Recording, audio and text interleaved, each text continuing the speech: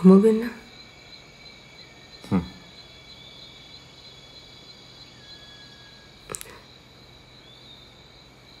আপনি কি সত্যি ওর স্কুলের বন্ধু?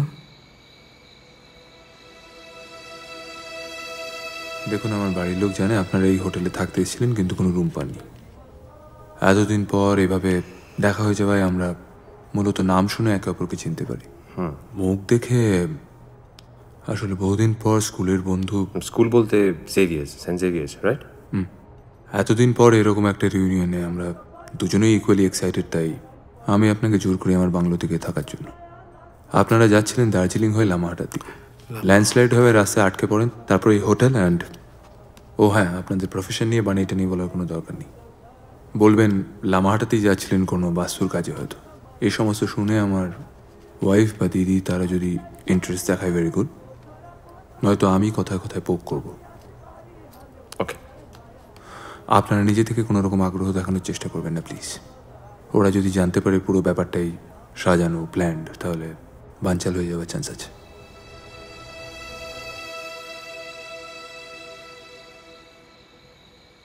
না। তাহলে? এই বাড়ির বাস্তু ফেংশুই চেক করার জন্যে অর্জুনবাবু আমাদেরকে ডেকে এনেছেন। মানে আপনি আপনারা যদি আপত্তি করেন সেইভাবেই অ্যারেঞ্জমেন্ট মানে স্কুল ফ্রেন্ডস কাছে আসা।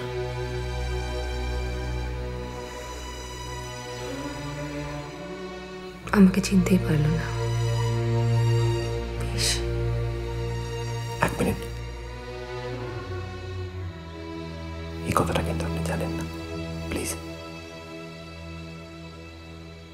আপনি আমায় চেনেন না? আমার ননদকে ফাইনালি মেন্টাল হসপিটালে পাঠানোর জন্য বলেছে ডাক্তার। সত্যি। বাড়িতে রাখা আর যাচ্ছেই না। সারাদিন ঘুম পাড়িয়ে রাখতে হচ্ছে। এত ভায়োলেন্ট হয়ে যায়।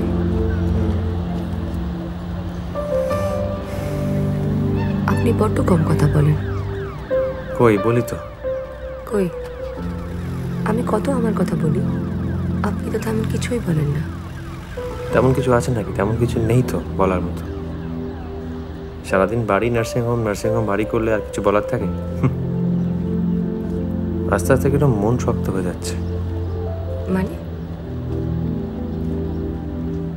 শাহানা খুব ক্লান্ত হয়ে গেছে। আমিও। ভালো লাগছে না আর। জানেন? আমারও মাথায় না যত রাজ্যের হিজিবিজি চিন্তা ঢুকছে ও তো চিরকালই বাইরে বাইরে। দিল্লির অত বড় কোয়ার্টারে আমি একা। ও যদি না ফেরে এখান থেকে,